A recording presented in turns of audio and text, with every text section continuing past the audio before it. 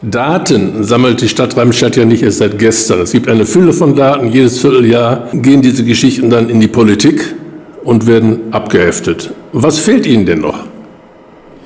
Naja, erstmal muss ich Ihnen widersprechen. Die Daten werden nicht einfach abgeheftet, sondern wir haben schon noch eine Diskussion über diese Daten und glaube, ähm, damals, als der ASGWP sich ein Sozialmonitoring wünschte, ähm, war genau das das Ziel, dass man eben besser orientiert wird und die Öffentlichkeit.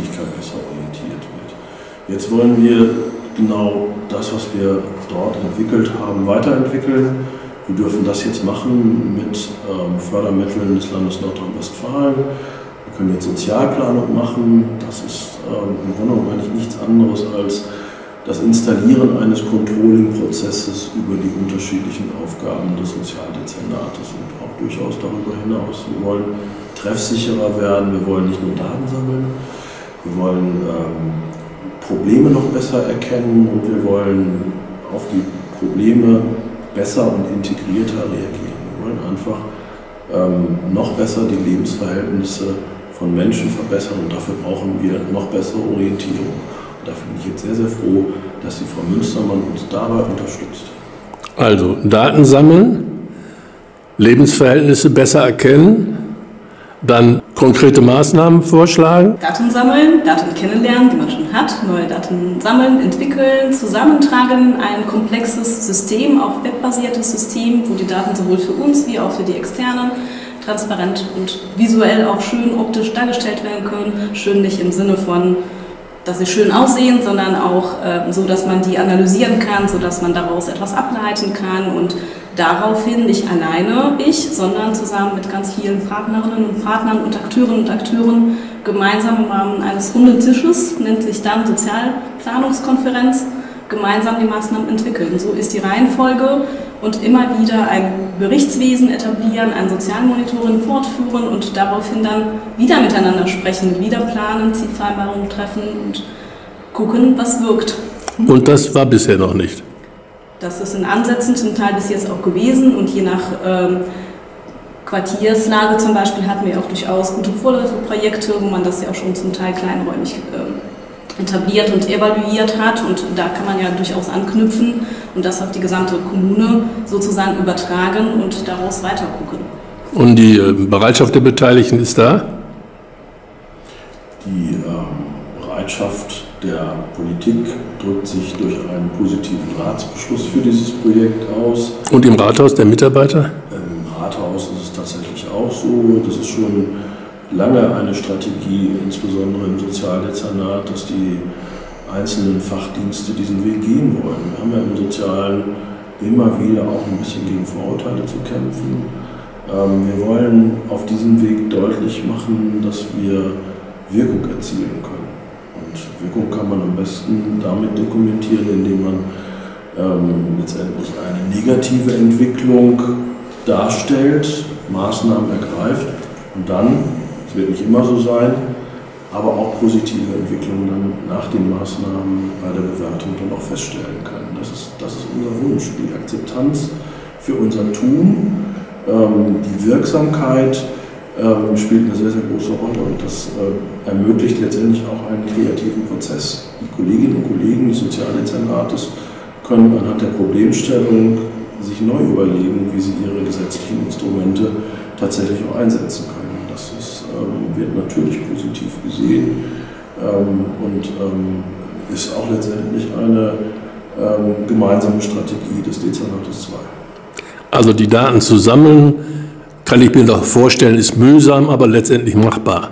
Aber daraus dann in der Konsequenz konkrete Maßnahmen vorzuschlagen und die dann auch zu realisieren, ich glaube, dann wird es schwierig hat auch keiner gesagt, dass es einfach wird. Natürlich ist das ein komplexer Prozess. Ähm, dafür gibt es aber auch Unterstützung, sowohl vom Landesministerium, von den Instituten, die das auch begleiten, ähm, wie auch von benachbarten Kommunen, die vielleicht in den gleichen Prozessen schon dran sind. Und das ist ja so, dass man da nicht drum rumkommt. Also es ist jetzt keine Frage von, ob wir das tun, sondern wie wir das tun. Und ich denke, es wird gut klappen. Wir haben einen guten Zeitpunkt gewählt, wir haben gute Erfahrungswerte, gute Vorläufe, Projekte und äh, ja, bin Sie ich sehr hoffnungsvoll, dass wir das hinkriegen.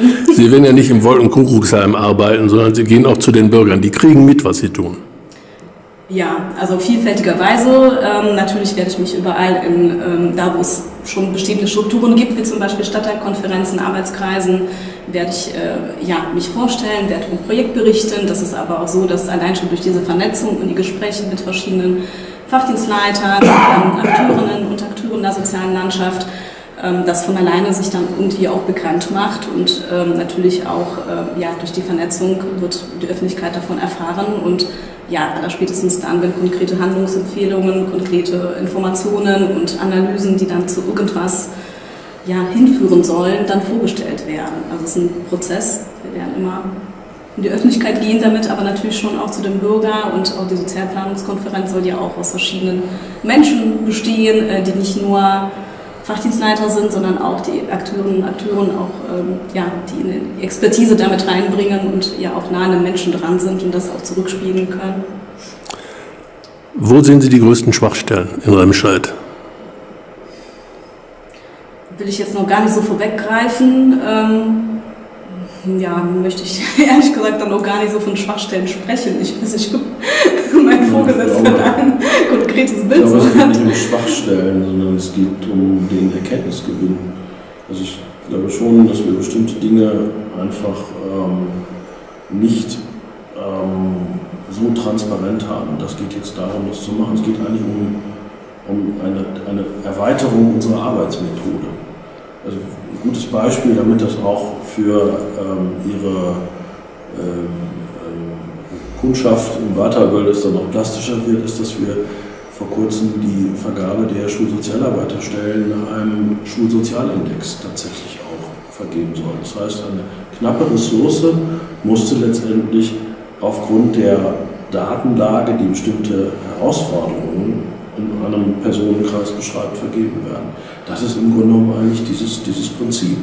Und ähm, ähm, an der Stelle wollen wir natürlich auch viel stärker ansetzen. Klar, haben ähm, eine Reihe von Transferleistungen, die wir nach Bedürftigkeit vergeben. Aber es gibt so viele Möglichkeiten im Bereich der Bildung, im Bereich der Jugendhilfe, im Bereich der Stadtplanung, im Bereich ähm, so vieler unterschiedlicher Dienste, wo wir konzentrieren letztendlich ähm, besondere Lebenslagen von Menschen angehen können. Und das ist eigentlich die, die Herausforderung, die tatsächlich auch da ist. Also knappe Ressourcen haben wir als Kommune immer. Und es geht darum, diese knappen Ressourcen dort einzusetzen, wo sie am dringendsten benötigt werden und, und das ist das Wichtigste, auch die entsprechend gewollte Wirkung auch erzielen. Da dann viel Erfolg. Dankeschön.